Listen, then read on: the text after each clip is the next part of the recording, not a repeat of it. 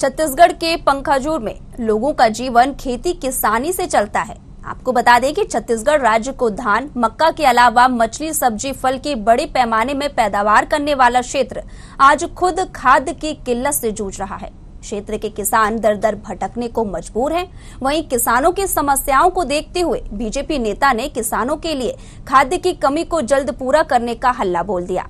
जहाँ किसानों के साथ मिलकर कलेक्टर और मुख्यमंत्री के नाम एसडीएम को ज्ञापन सौंपा और जल्द मांगे पूरी न होने पर सड़क पर उतरकर आंदोलन करने की चेतावनी दे डाली।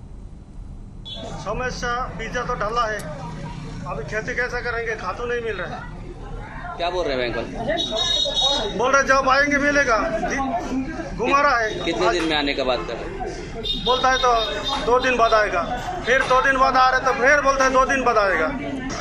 अभी खाद को लेकर के यहाँ के परल रोड के किसानों के द्वारा आवेदन दी गई है जिसको हम डीएमओ के माध्यम से कलेक्टर साहब को बताएँगे और तत्काल इसको उपलब्ध कराने के लिए